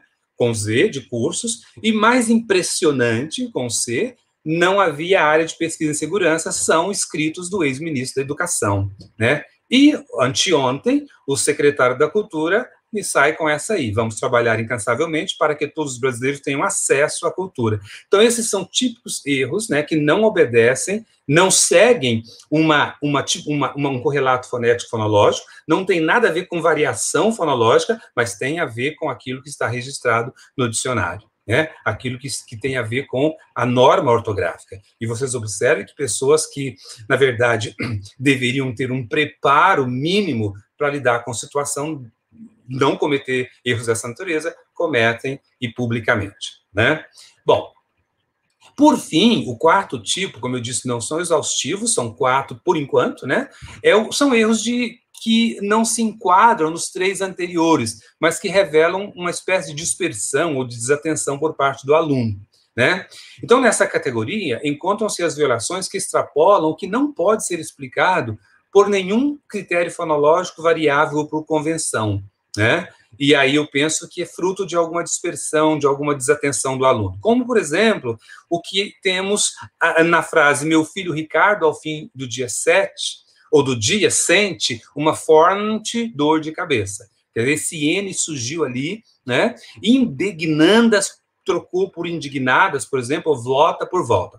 Repare que esses errinhos aí são erros que a gente considera como desatenção, mas eles não são opacos. Ou seja, eles dizem alguma coisa. Eles dizem alguma coisa. Se você tentar compreender do ponto de vista do aluno, o professor vai conseguir é, é, verificar o que está acontecendo aí e poder auxiliar o aluno. Às vezes, nesses casos, o próprio autor do texto não consegue ler, ele tem dificuldade de ler o que ele escreveu. Né? Se você pedir para ele ler com calma, com atenção, ele vai ter um pouco de dificuldade. Né? Nos outros três casos que a gente citou, aí não tem muita dificuldade de leitura, mas nesse aqui de dispersão, pode haver alguma dificuldade de leitura. Tá? Agora, não é raro a gente ver, por exemplo, em algum material didático sobre a alcunha de aplicação fonológica ao ensino, a gente ter ali uma série de processos fonológicos, que muitas vezes nem são processos fonológicos, como mero trabalho de oferecer nomes e classificações. Não, aqui a gente não quer propor que o aluno venha saber nome, classificação de processo. Quer, primeiramente, que o professor entenda o que são esses, essas questões de natureza fonológica variável, de convenção, né, ou de dispersão, o que está acontecendo no texto do aluno, mas não há necessidade de o aluno saber se ali tem um nome, uh, aquele processo, ou se ele deixou de ter. Isso não faz sentido para o aluno, na nossa visão.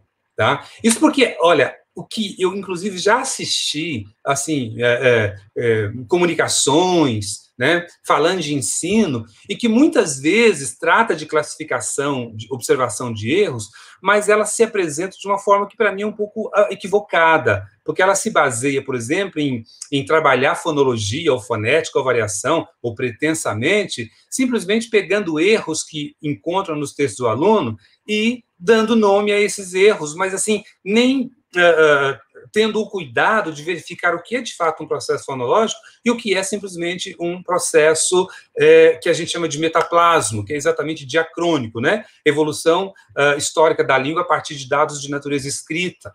Né? como a férese, síncope, apócope, aprologia, hipértese, hiperbatismo, diástole, sístole, sinalé, ferizão, suarabaque, anaptise. Isso não faz sentido colocar isso na cabeça dos alunos. Na minha opinião, não. Né? Na minha opinião, não faz sentido nem para o professor. O professor do ensino básico precisa compreender o texto do aluno que o aluno está escrevendo, e aí sim ele vai ter uma ferramenta, um instrumental verdadeiro para trabalhar em sala de aula. Tá? Bom, é, ao invés disso, né, dessas questões de, de classificação por nomes, eu entendo que a alternativa é muito mais simples. Basta o professor ter conhecimentos básicos acerca de fonologia e de variação, como os apresentados acima, e saber como usá-los, não para repassá-los aos alunos, mas para diagnosticar o problema e promover soluções. Por certo, se o linguista assumir esse papel, que é verdadeiramente seu, nos cursos de licenciatura, aquele hermetismo que eu falei lá atrás, parece que ele vai começar a arrefecer. Tá? Bom, é, o, o, eu trago agora uma fala do Veloso, João Veloso, de Portugal, Veloso e Rodrigues, em que eles defendem, num artigo de 2002, que transcrições fonéticas sumárias também sejam repassadas aos alunos, como é uma estratégia que eu não concordo muito. Né? Ensinar para os alunos do ensino fundamental transcrição fonética. Não concordo muito, porque eu acho que não há necessidade dos alunos aprenderem um outro alfabeto, que seria o alfabeto fonético. O mais importante é que sejam capacitados para refletir sobre o que estão escrevendo e sobre como estão escrevendo, né? Um passo importante seria, então, entender que o texto do aluno não é opaco, mas ele é transparente. Logo, compreender o texto do ponto de vista do aluno pode ser uma estratégia de ação por parte do professor, e não ensinar, às vezes, o aluno a fazer transição fonética. Isso eu acho que não, não seria um, caminho interessante.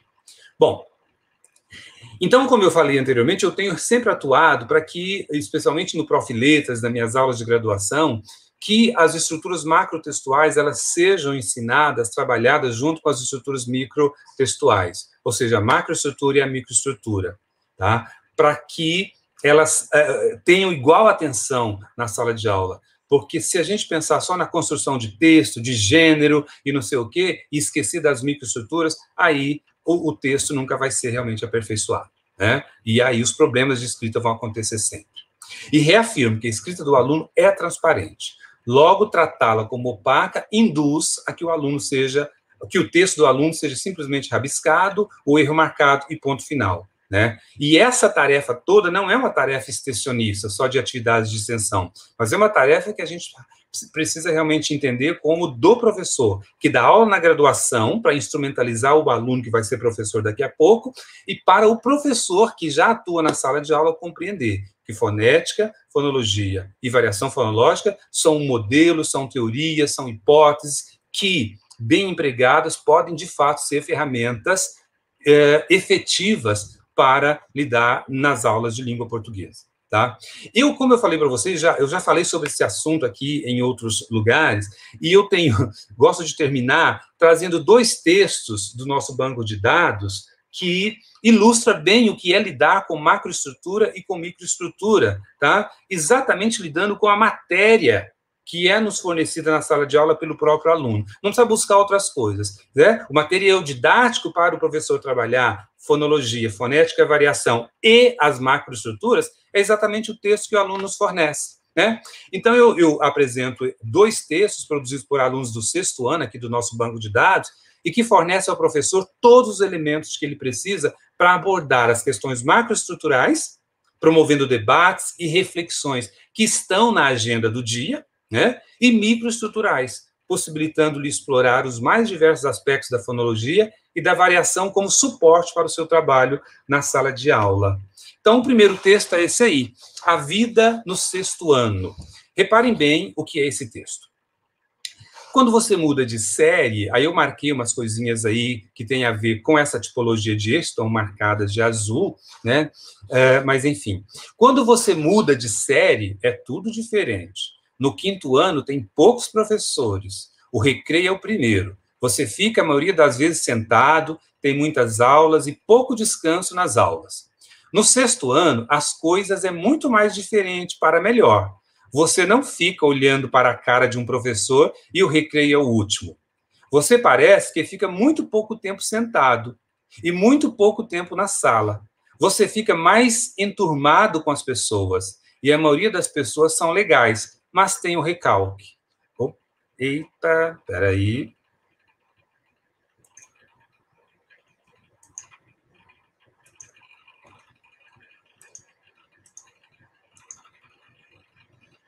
Ok, pode voltar, voltar à apresentação. Ah, mas tem o recalque. As pessoas recalcadas do sexto ano é foda. Se você vir de cabelo solto, ela é tão invejosa que ela olha e o cabelo cai. KKKKK. O foda do sexto ano é esse recalque insuportável. E no sexto ano, você é vida louca. Então, vocês observam que aqui, além de elementos de natureza macroestruturais, temas para debater que estão na, na, na, na, agenda do dia, né? Ainda tem as questões de natureza fonética, fonológicas e variáveis para a gente poder discutir, para a gente poder discutir com o aluno. Então, esse texto fornece todos os elementos que, se, que precisa, né? Para trabalhar a macroestrutura e a microestrutura. E o segundo texto é exatamente esse aqui, a, a menina elevada. Olha só. Hoje eu vi uma menina que mudou para a minha rua.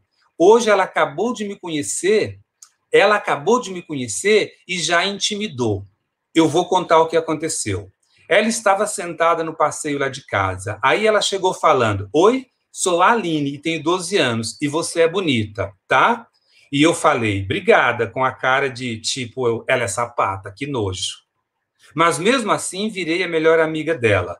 Mas aí ela conheceu meus irmãos e ficou dando em cima deles. E depois que eu fui saber que ela não é sapata, é elevada. E ela falou para mim que achou o menino gato. E eu fui saber que era meu irmão. Então vocês observam que aqui tem questão de preconceito, né?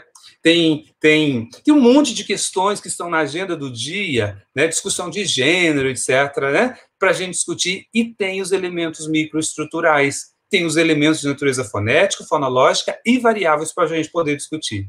Tá? Então é isso, a minha fala. Eu espero que vocês. Uh, uh, eu agradeço muito vocês que estiveram aqui até esse momento nos ouvindo, e agradeço novamente a Natália por poder é, é, me propiciar esse momento, né?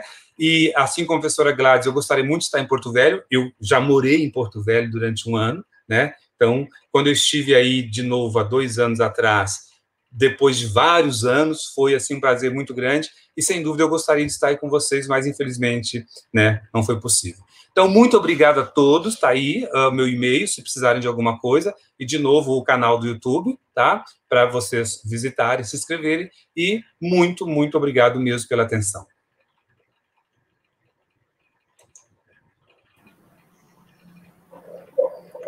É. Ótimo. Querido José, Gladys, muito obrigada pelas exposições. É, é, um grande prazer estar aqui nesse momento falando de fonologia e desse tema que nos é tão caro. E, como disse o professor José, precisa ser uh, falado, né? Precisamos, enfim, defender a fonética e a fonologia na formação dos nossos alunos, na formação dos nossos professores, né? Temos vários comentários do chat, várias perguntas interessantes. Como a gente está com, com um horário um pouquinho apertado, porque às 19 horas a gente tem ainda outra palestra, eu vou fazer uma questão para vocês dois. Assim vocês podem dialogar e dar a a, a opinião de vocês sobre, sobre a pergunta. E aí, Convido a todos também a acompanhar o professor José nas redes sociais e no canal do GFONO e acompanhar o trabalho da professora Gladys também. Eu posso repassar mais perguntas para eles e também eles mesmos também vão ver no chat, conseguem conversar. Muitos elogios, muitas perguntas interessantes. Uh, tem duas perguntas especificamente relacionando a questão do ensino e de fonética e fonologia, né? Uh, então, Lucas Machado pergunta: até que ponto, o professor falou, o professor José falou um pouco isso, até que ponto trazer noções fonéticas explícitas na sala de aula pode ser benéfico? Há diferenças entre esses aspectos, nesses benefícios, entre uma sala de L1 né, e L2? A Cecília Frazão perguntou também especificamente com o ensino dos dígrafos vocálicos e consonantais e coisas assim mais específicas né, se esse tipo de explanação em sala de aula auxilia no avanço da leitura e da escrita, e parabenizou muito a pesquisa, né?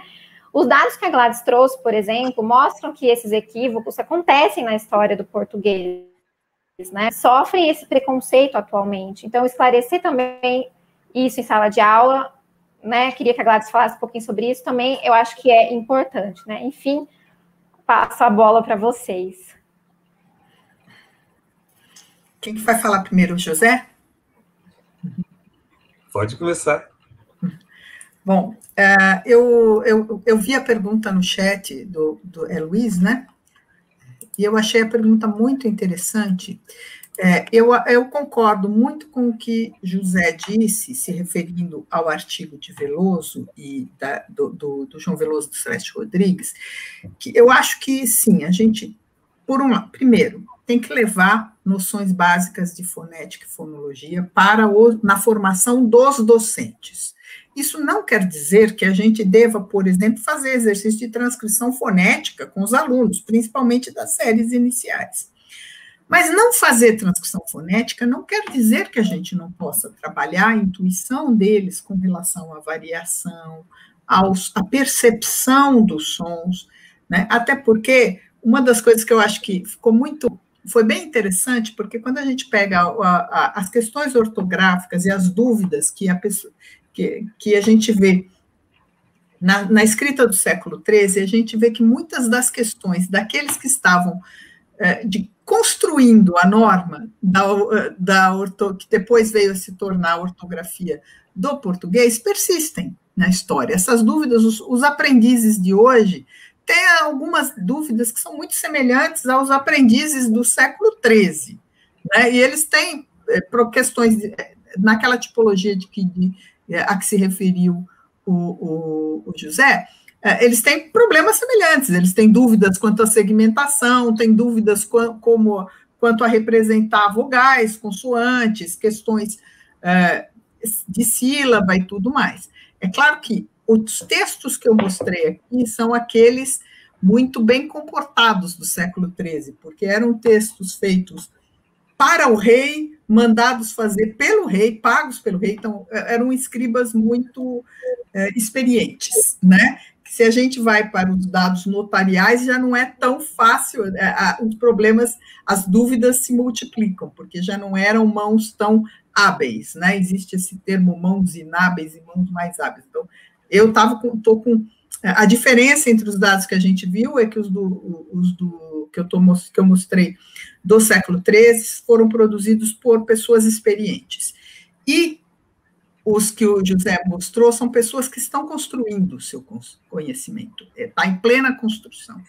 Então, a gente está vendo, uh, num caso, mais o resultado e no outro processo, que é muito. Ah, inclu, inclu, é inclusive, o ex-ministro da Educação e o secretário da Cultura. É, esses aí deviam estar na, na, situação. É, esses continuam na categoria de mãos inábeis, Bom, é, e, e, o que eu acho que é interessante, então, por um lado, a gente tem que dar uma formação sólida para o professor, mas eu acho que essa formação sólida também vai ter, é, é vai ajudar que é, essa questão que não é, eu acho que fazer transcrição fonética não é o que soluciona, mas essa reflexão sobre o sistema de escrita, essa mostrar que o sistema de escrita não é uma transcrição fonética, mas que traz pistas de como a gente realiza foneticamente as palavras, né? Isso é muito importante. E é, o que eu quis dizer com, com, relação a isso, se mostrar dados históricos ajuda nessa percepção de que a hum. língua varia e de que a língua muda, varia no tempo e no espaço, vamos dizer assim. É, eu acho que, assim, Natália e pessoal que está aí, acho que, assim, a Gladys disse com muita propriedade. E, e as perguntas que você é, passou para nós aí, Natália, eu acho que elas se resumem numa das coisas muito importantes que é, a gente apresentou, que é o fato de que o professor não não interessa o nível, pode ser o, o, o professor que atua no nível é, é, fundamental 1, nas primeiras séries, ou no fundamental 2, no ensino médio. O professor precisa entender a voz do aluno naquele texto, senão não vai adiantar uhum. nada. Então, assim, tudo isso que eu disse aqui se resume, na verdade, a trazer para o professor subsídios para que ele consiga realmente assumir o ponto de vista do aluno diante do seu texto. Então, assim, eu não defendo, em hipótese alguma, que se ensine um aluno a fazer transição fonética. Não. Agora, o professor tem condições de, munido de conhecimentos da natureza, veja, eu não acho que o professor precisa saber teorias sofisticadas de fonologia. Ele não precisa. Mas eu acho que se ele souber esses pontos que eu coloquei aí, de fonética articulatória, algumas coisinhas de fonologia teórica, né? Traços, sílaba, alguma coisa de acento também, de prosódia, né? E, e, e, e saber exatamente a essência da variação linguística, isso, isso vai fornecer para ele o subsídio que ele necessita para olhar para o texto do aluno, e aí qualquer que seja o tipo de erro, é, alguém falou de questões relativamente a dígrafos, a não sei o quê, porque na verdade, assim, eu estou propondo essa tipologia de quatro, isso vai sair agora num, num capítulo de um livro organizado pela Universidade Federal do Ceará, mas, assim, eu sempre digo, não é exaustivo, é, é aquilo que esse banco de dados e essa investigação mostra que parece ser um subsídio basilar para o professor do ensino fundamental 2 em diante. Que o professor Marco Antônio e o professor Milton Nascimento fizeram a tipologia de 7 ali para os menininhos, para os pequenininhos, tá? E aí, do sexto ano em diante, os erros do começo ainda se repetem, a gente sabe disso, mas outros erros vão aparecer. Então, eu acho assim que em qualquer circunstância, o professor ele precisa ter consciência e noção clara do que está acontecendo no texto do aluno. Uhum. E aí vem aquela história de saber que o texto do aluno ele não é opaco, ele é transparente naquilo que é exatamente o que o aluno pensa. Né? Esse trabalho, por exemplo, que a Gladys, é, é, essa referência que a Gladys fez, ah, ela lidou com o texto de mãos hábeis, né?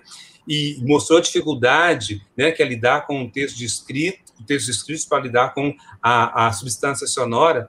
Aquele trabalho do PHPB, né, Gladys, ele, ele mostrou para a gente isso também. E eu, inclusive, utilizei muito e faço referência à metodologia sua, faço referência ao trabalho da Juliana Fonte, né? Porque quando você vai lidar com um texto escrito que você não tem um falante agora para testar, né? Eu acho que é uma metodologia brilhante que você usa, que o pessoal, uh, os seus orientandos usam. Agora, aqui, voltando para essa questão sincrônica, da atual, da sala de aula, eu acho assim que o professor ele precisa estar munido desses conhecimentos. E veja, eu nem estou sugerindo conhecimentos muito rebuscados. É o, é o básico, né? Que você aprende, aprenderia num curso de fonética e fonologia, tá? Então, eu acho que da questão que ficou das nuances que, a questão coloca, ficou faltando só a gente falar com relação à diferença entre a, a, o ensino de primeira língua e de segunda língua, né? Que ah, ele, isso. Colocou, ele colocou na. O que eu acho é o seguinte: também com relação ao professor de segunda língua, ele precisa ter essas informações de fonética, essas informações básicas. Isso é comum a todo professor que vai tratar com língua, quer seja a, língua, a primeira, a língua materna, quer seja a língua não materna, que seja uma segunda, uma terceira.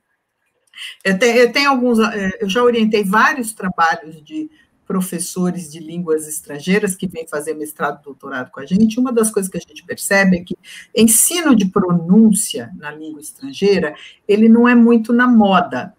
É, e aquele preconceito que o, de que o, o, o José falou na, na, apresentação dele com relação a fonética e a fonologia, ele está também no ensino de língua estrangeira.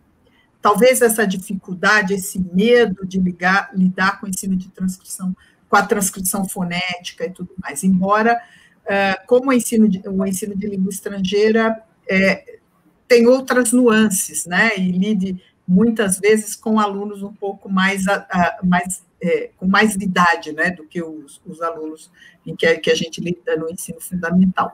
Mas é importante também. Mas também nesse caso, eu acho que não adianta a gente ficar ensinando o aluno a fazer transcrição fonética da língua estrangeira. Mas para o professor de língua estrangeira entender, por exemplo, as transferências que o aluno está fazendo do seu sistema para os outros sistemas, né? Por exemplo, do, um aluno um falante nativo de português que aprende uma outra língua, para conseguir entender que às vezes ele está transferindo para outra língua o que ele a sua fonologia, né, as ideias que ele, os conhecimentos que ele tem da sua língua para a língua estrangeira, é importante que o professor tenha, um, tenha esses conhecimentos básicos, tanto do português como da língua que ele ensina, em termos de fonologia, né? Tem alguns orientados, né, que já finalizaram mestrado, doutorado, que têm feito trabalho diretamente com professores de língua estrangeira para dar cursos assim de fonologia, de fonética, de fonologia, para que eles possam começar a trabalhar com o ensino de pronúncia, porque é, é uma área que é colocada em segundo plano, mas que no, no momento em que você tem que se comunicar oralmente, ela pode, se você não tiver um bom desempenho em termos de pronúncia, isso pode te prejudicar, né? pode prejudicar a sua comunicação. Não é muito importante também. Sim. Bom, gente, é, queria agradecer muito a, a, presença de vocês aqui conosco hoje. Temos muitas questões interessantes a discutir, mas infelizmente a, a programação ainda continua hoje. Então, com dor no coração, vou ter que encerrar essa nossa conversa de hoje, que eu espero que se repita em outras ocasiões e em outros muitos momentos vocês sabem que é, o carinho que eu tenho pelos dois é imenso. E a gratidão. E é, e é recíproco, né? É. E a gratidão por vocês. UFO. Foi, verdade. Aquele... Lembro com muito carinho do momento em que trabalhei na UFO. Foi um momento muito importante para mim. E assim, vocês incentivaram esse, esse evento desde, os, desde o princípio, né?